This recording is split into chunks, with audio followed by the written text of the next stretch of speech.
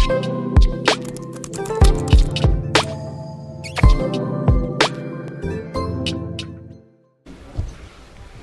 e, geçmiş dönem Malatya'da iki dönem belediye başkanlığı yapmış. Bu dönemde mecliste Malatya'yı temsil eden sayın vekilimiz bizleri ziyaret ediyor.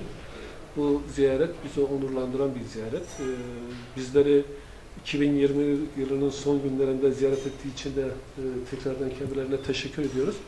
E, biz uzun süredir de gazeteci kimliğimizde tanıdığımız ve takip ettiğimiz bir kişi, Sayın Vekilim. E, Malatya kamuoyunda da başarılı, belediyeciliğiyle başarılı olmuş. Aynı zamanda meclisteki temsiliyet noktasında, Malatya'yı temsil noktasında başarılı olmuş bir vekilimiz. Ben kendisine Malatya'yı temsiliyet konusunda göstermiş olduğu bu e, üstün yetenek ve başarıdan dolayı da aynı zamanda tebrik etmek istiyorum. Umarım 2021 yılında da aynı e, şeyi kendisinden görürüz e, ve biz onu da haber yaparız. Bize haber olur inşallah. haber yaparız diye düşünüyorum. başkanım bu yılın son günü tekrar bizi ziyaret ettiğiniz sizlere teşekkür ediyorum. Hoş geldiniz. Sayın Milletvekilim, hoş geldiniz, şeref verdiniz.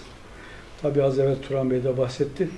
Ee, Sayın Ahmet Çakır ve, e, Vekilim, il başkanlığından, Büyükşehir Belediye Başkanlığından milletvekilliğine kadar e, bulunduğu görevler nedeniyle Malatya'nın tüm sorunları en detayına kadar bilen bir yapıya sahip.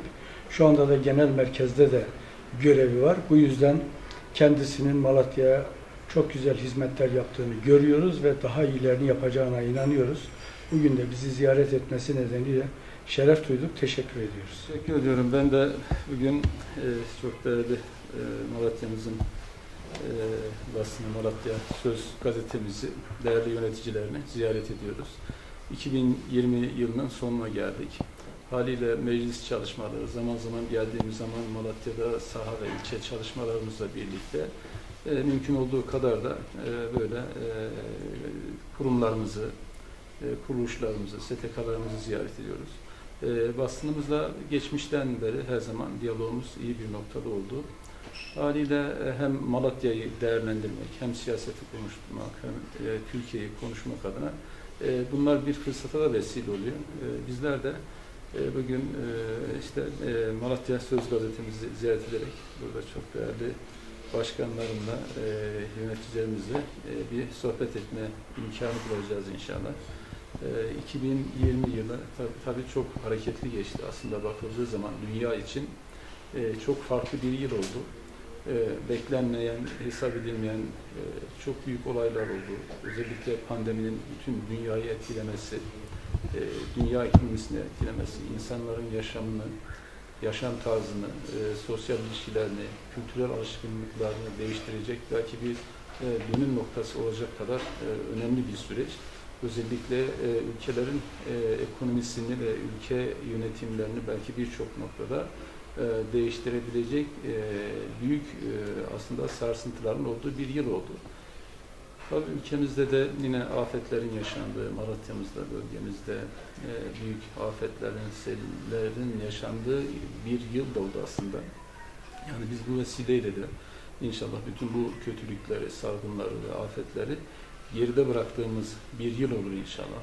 2021 yılı da daha iyi, daha böyle e, ne diyeyim e, insanlık için e, daha huzurlu, e, barışçıl bir yıl olmasını diliyorum. Şimdiden bütün hemşerilerin başında olmak üzere herkesin e, yeni yılında tebrik ediyorum inşallah. E, şöyle tabii pandemiyle ilgili genel bakıldığı zaman e, tüm dünyada e, ciddi bir e, gerçekten sorgulama ortaya çıktı. Bugün gelişmiş ülkelerin tamamı pandemi karşısında çaresiz kaldığını gördük. Hastanelerinin, altyapısının, sağlık sistemlerinin yetersiz kaldığını gördük. Ee, Türkiye ilk andan itibaren Türkiye hem bir yandan pandeminin ülkeye girişini geciktirecek her türlü tedbir alındı hem de e, pandemi sırasında da Türkiye'deki hastanelerin sağlık altyapısının ne kadar güçlü olduğunu o ilk e, salgın sırasında da gördük. Ve daha sonraki süreçlerde Türkiye tamamen e, ekonomisini kapatmadan çok bilinçli bir şekilde e, salgının etki edeceği bütün e, uygulamalar, sahadaki gelişmeleri düzenli bir şekilde işte hafta sonları, işte bayram günleri, işte önümüzdeki hemen yıl başında, şimdi yıl başını e, içindeyiz aslında. Yıl başında alınacak tedbirler olsun. İşte 65 yaş üstü ve 20 yaş altı olsun. Bütün bu tedbirlere baktığımız zaman e, gerçekten Türkiye bu konuda e, çok donanımlı bir tür afetlere karşı. Aslında bu neyi gösterir? Bir ülkenin gücünü gösterir, bir hükümetin gücünü gösterir, bir devletin gücünü gösterir. Haliyle e, Türkiye burada kendisini kanıtladı sağlık noktasında.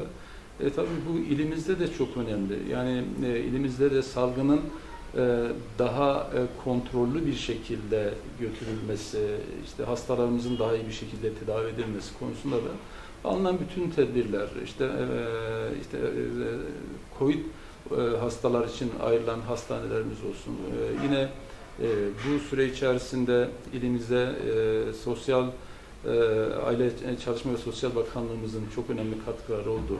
E, işe gidemeyen, çalışamayan, e, doğrudan gelir olsun, gıda yardımı olsun oluşturulan ekiplerimizle e, 30-40 bin ailemize yardımlar yapıldı. Bu yardımın toplamı 351 milyon lirayı buldu. E, haliyle e, pandemide bu ikinci bir dalga gelmişti. O ikinci dalganın da e, Malatya'yı daha az etkilediğini gördük. Şu anda e, Türkiye'de 30 binlerden e, 14 binlere e, doğru inen bir rakam var. %50 azaldı. Bu hızla azal, alacağın, azalacağının bir gösterisi göstergesi. Malatya'mızda da e, valiliğimiz, Sağlık İl Müdürlüğümüz zaman zaman açıklamalar yapıyor. Burada rakamdan ziyade yani iyi bir noktada olduğumuzu söyleyebilirim. Yani inşallah e, temennimiz böyle bir 10-15 gün içerisinde e, böyle hemen hemen tekli rakamlara inen e, inşallah sayıları görürüz. E, tabii aşının gelmesiyle de şu anda aşının geldiğini hep birlikte takip ediyoruz.